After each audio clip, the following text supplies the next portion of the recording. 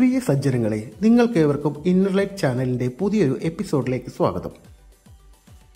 ഇന്ന് നമ്മൾ പരിശോധിക്കുന്നത് കാർത്തിക നക്ഷത്രത്തിന്റെ സ്വഭാവം ജീവിത രീതി നല്ല സമയം മോശം കാലഘട്ടം ആരാധിക്കേണ്ട ദേവതകൾ സന്ദർശിക്കേണ്ട ക്ഷേത്രങ്ങൾ ഗുരുപരമ്പരകൾ എന്നിവയെക്കുറിച്ചാണ്.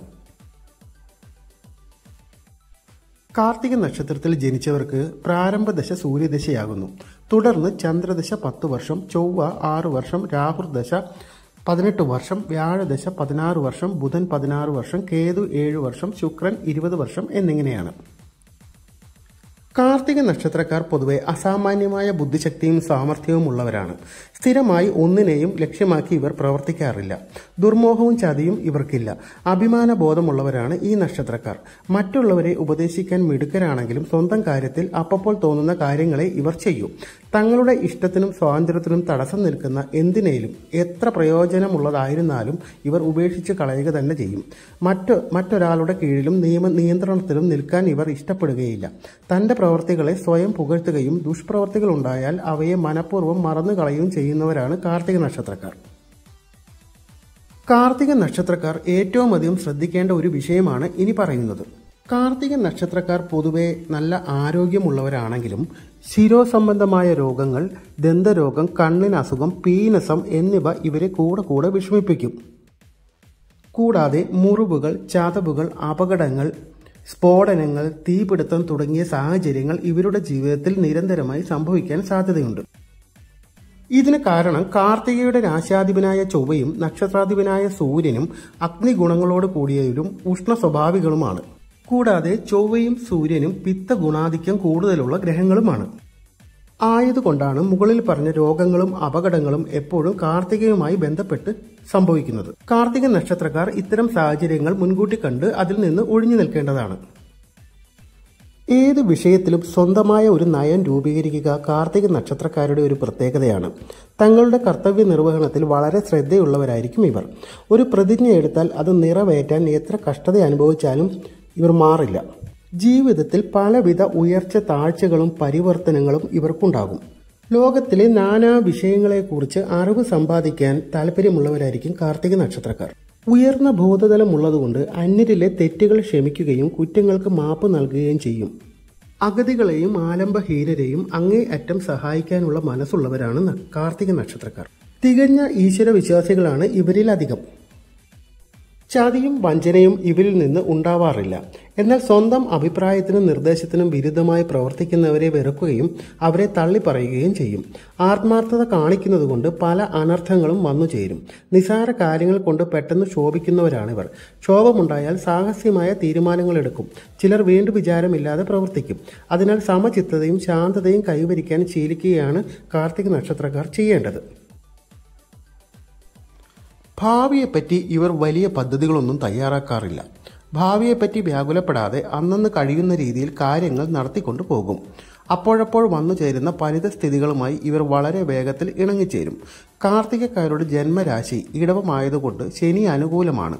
അതുകൊണ്ട് വലുതായി തോന്നുന്ന തടസ്സങ്ങളും അപകടങ്ങളും എല്ലാം ഒടുവിൽ മംഗളമായി കലാശിക്കും. വിരോധിക്കുന്നവർ വരെ അനുകൂലികളായി മാറും. അതുപോലെ തന്നെ ഒരു കാര്യം ആരംഭിക്കുമ്പോൾ അതിന്റെ ഫലത്തെപ്പറ്റി പൂർണമായി ചിന്തിച്ചിട്ടേ ആരംഭിക്കുകയുള്ളൂ.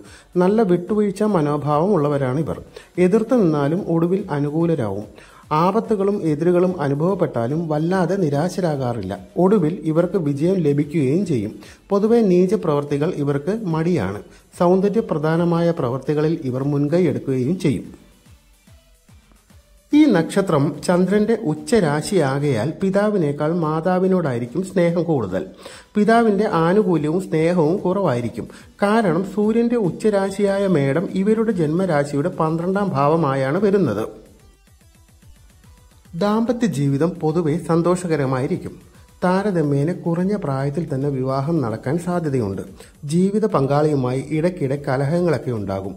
പക്ഷേ പരസ്പര സ്നേഹവും വിശ്വാസവും നിലനിൽക്കും. പങ്കാളിയുടെ അനാരോഗ്യം ക്ലേശത്തിനിടയാക്കും. കാർത്തിക നക്ഷത്രക്കാരായ സ്ത്രീകൾ ഭരണ സാമർഥ്യമുള്ളവരാണ്.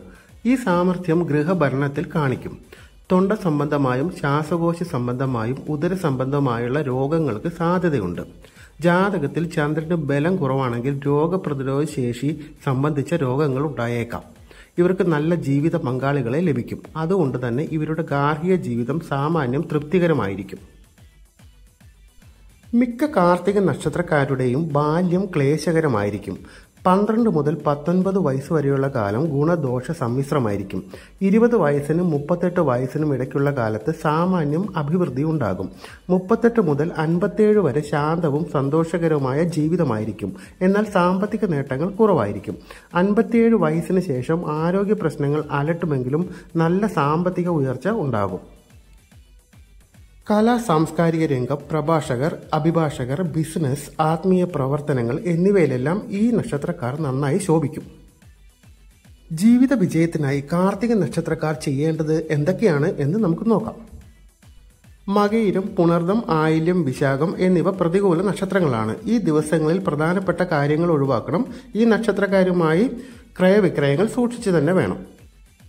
കാർത്തിക നക്ഷത്രക്കാർക്ക് പൊതുവെ ചൊവ്വ ബുധൻ വ്യാഴം എന്നീ ദശാപഹാരങ്ങൾ നല്ലതായിരിക്കില്ല. പരിഹാരമായി മൃത്യുഞ്ജയ ഹോമം സൂര്യശാന്തി കുജശാന്തി എന്നിവ ചെയ്യുക. ആദ്യത്തെ ഹൃദയ സ്തോത്രം ദിവസവും ജപിക്കുന്നത് ജീവിത വിജയത്തിന് നല്ലതാണ്. യോഗ മെഡിറ്റേഷൻ തുടങ്ങിയവ ദേഷ്യം കുറയ്ക്കാനും സമചിത്തത കൈവരിക്കാനും കാർത്തിക നക്ഷത്രക്കാരെ സഹായിക്കും. കാർത്തിക നക്ഷത്രക്കാർ ജീവിത വിജയത്തിനായി സന്ദർശിക്കേണ്ട ക്ഷേത്രങ്ങളാണ് തമിഴ്നാട്ടിലെ മണ്ണം പന്തലിൽ സ്ഥിതി ചെയ്യുന്ന ശ്രീ കത്രസുന്ദേശ്വര ക്ഷേത്രം. ശിവനും ദേവി തുങ്കബല സ്ഥാനാംബികയും എന്ന പേരിലാണ് അറിയപ്പെടുന്നത്. കാർത്തിക നക്ഷത്രക്കാർ ഗ്രഹദോഷ നിവാരണത്തിനായും വിവാഹം സന്താനഭാഗ്യം സന്താന ഭാഗ്യം കുടുംബത്തിൽ ഐക്യം എന്നിവയ്ക്കൊക്കെ വേണ്ടി പ്രാർത്ഥിക്കേണ്ട പ്രധാന ക്ഷേത്രമാണിത്. അതുപോലെ തന്നെ കേരളത്തിലുള്ള ഹരിപ്പാട് ശ്രീ സുബ്രഹ്മണ്യ സ്വാമി ക്ഷേത്രവും ഗ്രഹദോഷ നിവാരണത്തിനായി കാർത്തിക നക്ഷത്രവുമായി ബന്ധപ്പെട്ട പ്രധാന ക്ഷേത്രമാണ്. കാർത്തിക നക്ഷത്രക്കാർ ജീവിത വിജയത്തിനായി ആരാധിക്കേണ്ട ഗുരുപരമ്പര പതിനെട്ട് സിദ്ധ പരമ്പരയിലെ സിദ്ധന്മാരെയാണ്. പതിനെട്ട് സിദ്ധന്മാരിലെ രോമർഷി ഋഷിയെയാണ് കാർത്തിക നക്ഷത്രക്കാർ ജീവിത വിജയത്തിനായി പ്രാർത്ഥിക്കേണ്ടത്. അദ്ദേഹത്തെ ചിരഞ്ജീവിയായി സങ്കല്പിക്കുന്നു നേരിട്ട് കൈലാസത്തിലേക്ക് പോയി എന്നാണ് വിശ്വാസം. അതുകൊണ്ട് തന്നെ സമാധി സ്ഥലവുമില്ല. കാർത്തിക നക്ഷത്രക്കാർ തിങ്കളാഴ്ച വെള്ളവസ്ത്രം ധരിച്ച് വടക്കോട്ട് നോക്കി അദ്ദേഹത്തെ പ്രാർത്ഥിക്കണം.